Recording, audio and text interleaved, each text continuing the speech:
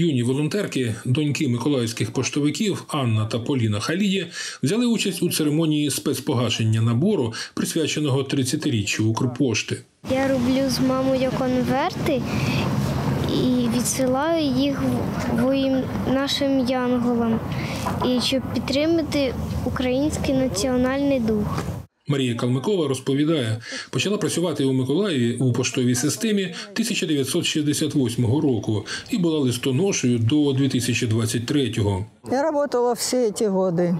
Полтора года под снарядами, под а, сиренами ходили, носили, обслуживали. Люди только спасибо говорили. Миколаєвець Леонід Іпатенко каже, став філателістом у 17 років, коли з'явилася марка про руський воєнний корабль.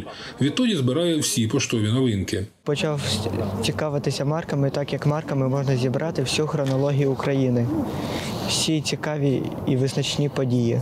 Керівник відділу поштових послуг Миколаївської філії Укрпошти Дмитро Маляс розповів, що новий поштовий випуск продовжує серію героїчні професії, розпочату 2023 року. Тираж блоку марок 200 тисяч.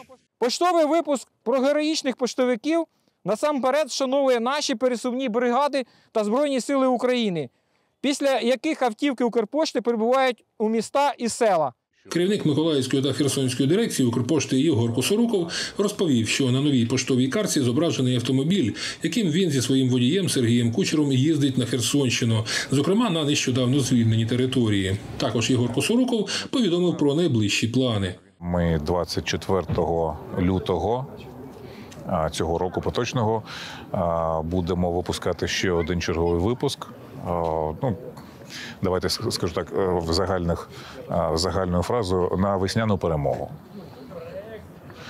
А поки що все інше це секрет. Федір Бондар, Суспільне новини, Миколаїв.